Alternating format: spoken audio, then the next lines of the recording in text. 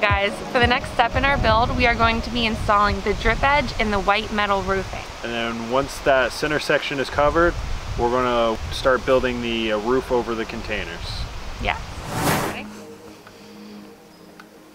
I'm gonna cut this, this top off, wrap it around, so whenever I have my gable end flashing, uh, it comes out to here, and you won't have, all you'll see is white if you if you happen to see a, a little bit of a gap, you won't see any exposed wood or anything, so.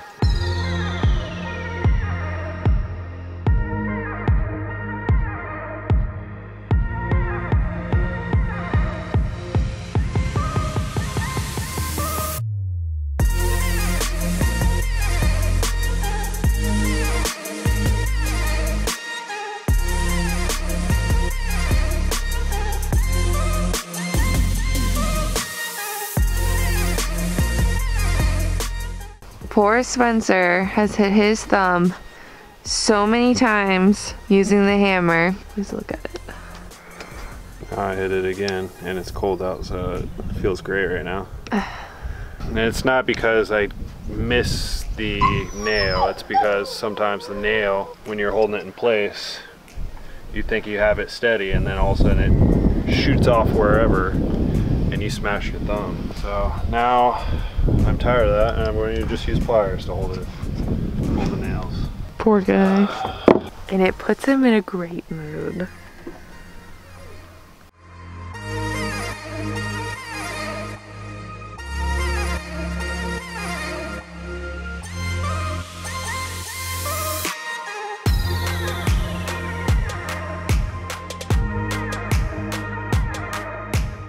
Okay, so you guys can obviously see that we went with a bright white metal for our roof. And the reason being obviously it is the best as far as reflecting the sun. And it's going to be the best color as far as keeping our home energy efficient. We chose white because we're obviously in a cooling dominated uh, climate. So keeping the roof as cool as possible is one one benefit but also the air gap in between the actual roof deck and the metal is another key thing. You want that to allow any hot air that radiates from this metal, from the sun heating it up, to escape. And these uh, wooden um, purlins act as almost as a thermal bridge in a way. So it, it just puts a barrier in between the metal roof and the roof deck itself. All right, so yesterday we were test fitting our metal roof to make sure everything like was aligned how we wanted to and uh, just a trial run. And Ken's actually noticed that the uh, metal had some scoring on it. This was our first sheet. Uh, the company we bought it from offers a 40 year warranty on it so it shouldn't be an issue getting that replaced. It's just a hassle to take it back you know? So we're going to pull this one down throw another one up and go from there.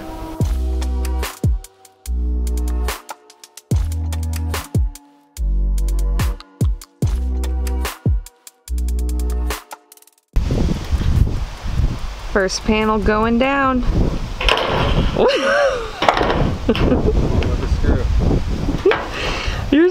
That. Every single time I start filming, something gets messed up.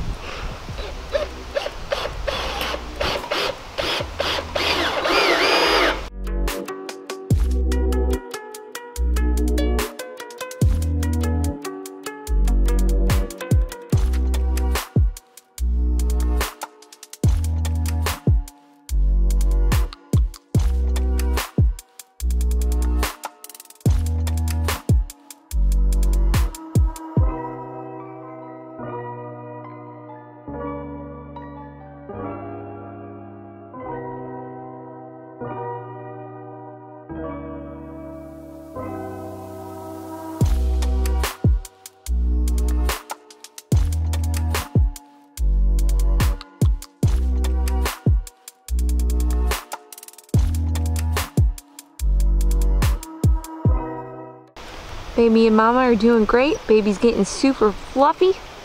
Ready for winter. super.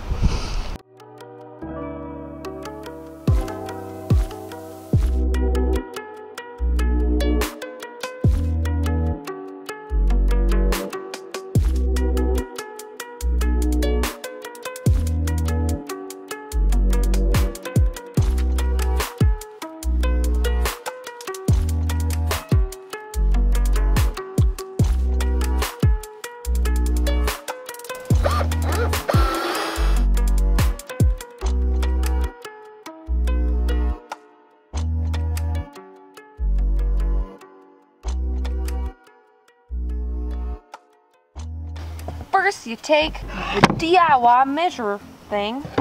Measure thing. Then you locate the pencil that you've lost for the 1,000th time. Probably the panel. I don't know what that means. Okay. Here. Step four. Measure with complete accuracy. Scratch that. Step four. Measure.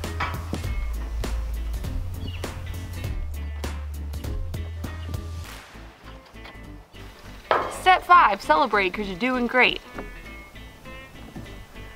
Step six. Remeasure because you probably did it wrong the first time. What step are we on?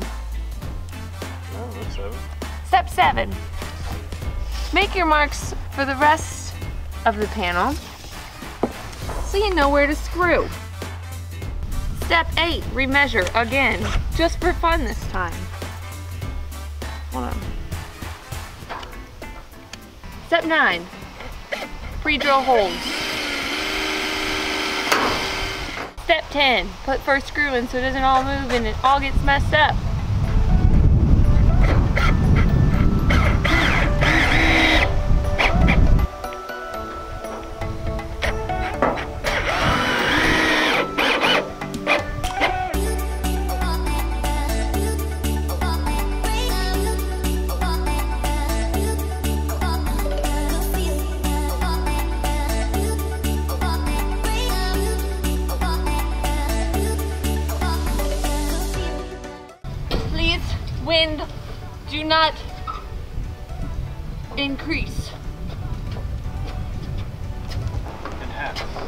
no! Enhance. F you, man. Enhance. Help! Help! Got it. No. It's hurting. My sternocleidomastoid. Alright, go.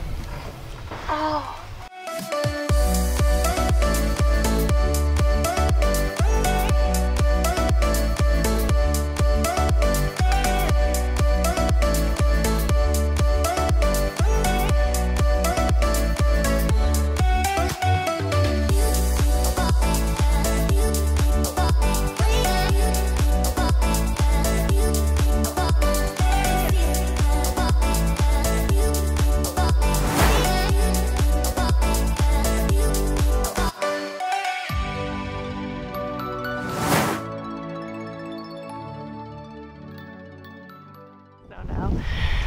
Walking and my shirt got caught on the metal sheeting.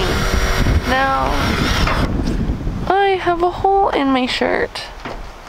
I don't even know if you could just see it, but it's okay because you know memories is what I got, and I just wish I wouldn't walk the wrong way. So what can you do?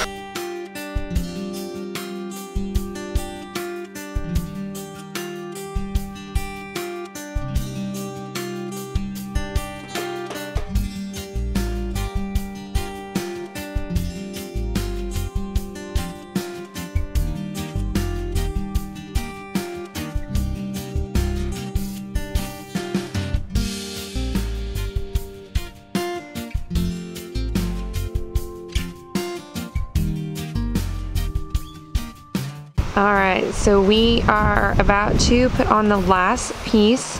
Spencer's just down right now getting all the materials because he's gonna have to uh, cut a little bit off of this one because it's a little bit too long. Yeah, last one.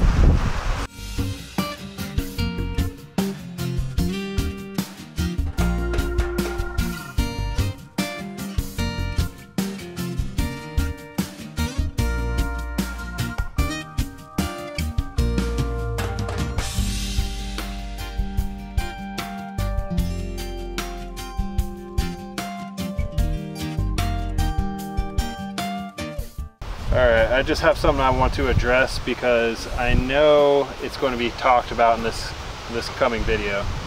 So, the screws in the valleys versus screws at the ridge. Well, every manufacturer that manufactures these style panels, the classic rib panels, they all recommend to install in the valley uh, at least every manufacturer that I've I've seen. I have never I haven't seen any recommend at the ridge. Um, and another thing is if you installed at the ridge, first of all, you would only have this little tiny piece holding the, the metal roof on.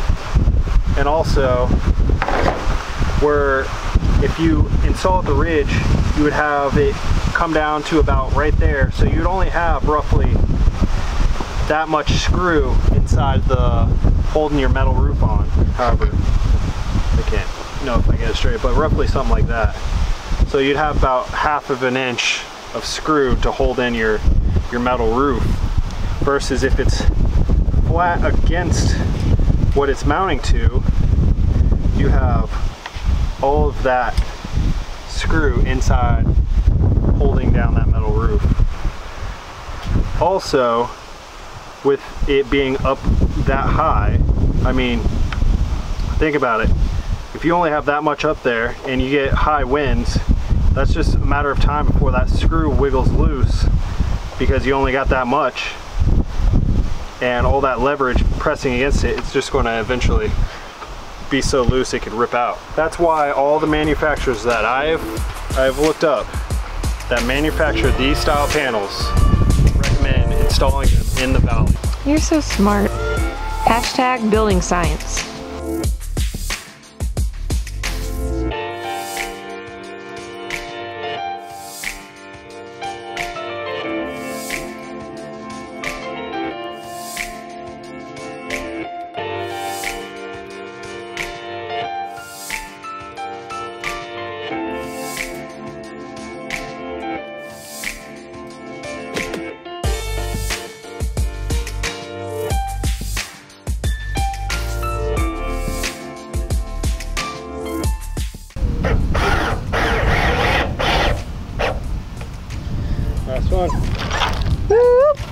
Alright, so all the screws are in.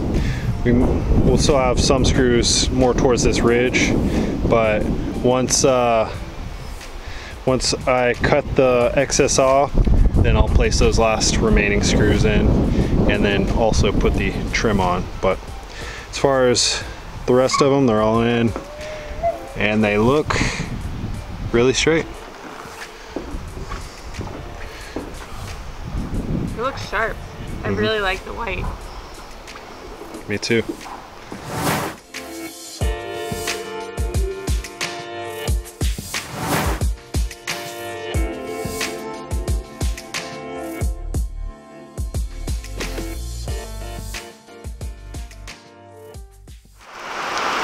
Please look at how flooded it is right now. It's the worst I've seen it. Oh yeah.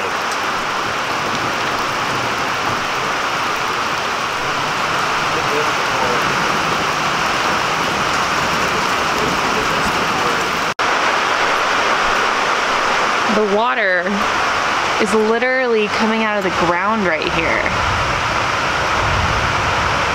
Inside of our barn. Yeah. Like, literally, the ground is so saturated. That, that's happening right now.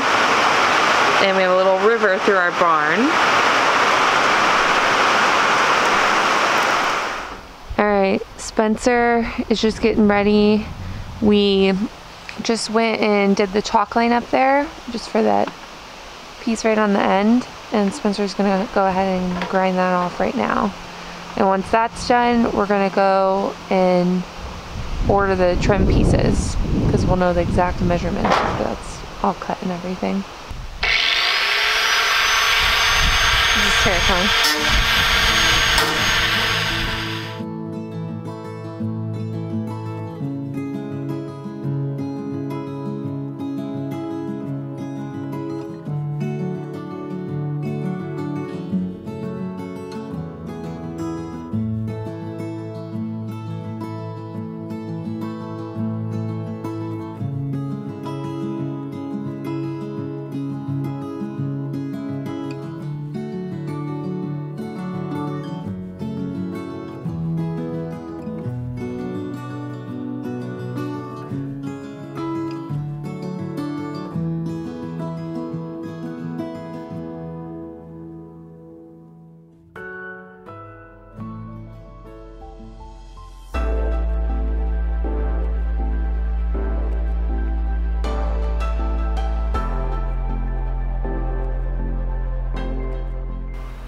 Yeah, Spencer, he's so fine. He's so fine. He blows my money, Spencer. Yeah, yeah, Spencer. He picks up those pencils good. Spencer, what, what, what, what? Oh, wait. He picks up those pencils good, better than I definitely would. Yes, Spencer. Yeah, yeah, yes, Spencer.